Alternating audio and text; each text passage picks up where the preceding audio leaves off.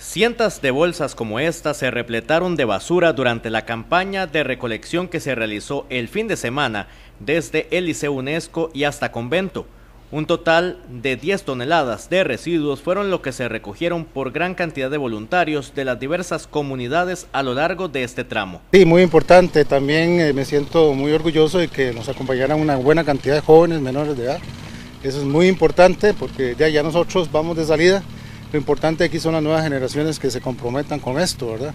Incluso vinieron este, miembros de la Escuela de la Liga Deportiva de la Juelense que tenemos ahí en Palmares a colaborarnos y fue una tarea bastante rápida y bastante limpia, ¿verdad?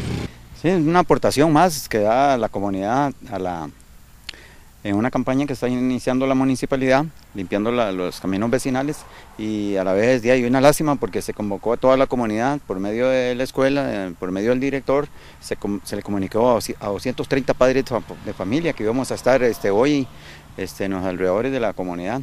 Es, es, una lástima porque la gente no, no tiene conciencia y todo esto va a dar a los mares y las bolsas plásticas este, nos, nos perjudican a nosotros los que cuidamos del mar también porque nos matan nuestras tortugas. Aunque todavía se encuentran diversos tipos de basura, un aspecto que destacaron por ejemplo en la comunidad de Palmares es que comparado con la última recolección el porcentaje de desechos tuvo una disminución. Encontramos de todo, sí, este, lo que pasa es que también debo, debo reconocer, ya está la, no es la primera vez, sí veo que hay más cooperación de la comunidad, hay mucho menos basura que la primera vez que lo hicimos.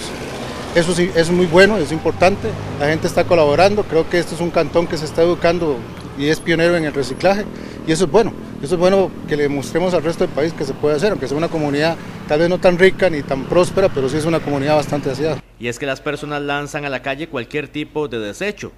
De todo, mecates, amarras, botellas, pañales desechables, personas inescrupulosas que se deshacen de la basura a la casa pero las tiran a, las orillas de las calles. Este, le comentaba que, que es increíble la cantidad de basura que uno no logra ver, pero este, ya llevamos varias bolsas, unas siete bolsas de basura, solamente en plásticos, botellas, em, eh, bueno, latas de cerveza. Esta bolsa que está aquí, eso es solamente de esa paradita que está allá. Eh, la gente que viene a tomar y, dejan las botellas ahí, pues yo no sé por qué no jalan la bolsita y, la dejan aunque sea ahí para que otro llegue y la... Bolsas de pañales, este, botellas, eh, algún par de animales muertos, pero le voy a ser sincero, comparado con, las toneladas que recogimos la primera vez que hicimos este trabajo, sí creo que hay una muy, buena conciencia. También veo que los vecinos, su parte, aunque sea paso de calle, lo limpian y lo, recogen. Creo que, que, le estamos dando un ejemplo al resto del país y como insisto, felicito a los muchachos que muy temprano se vinieron a ayudarnos, eso es importante. Todos tienen claro que este tipo de campañas son valiosas y de gran aporte a la comunidad.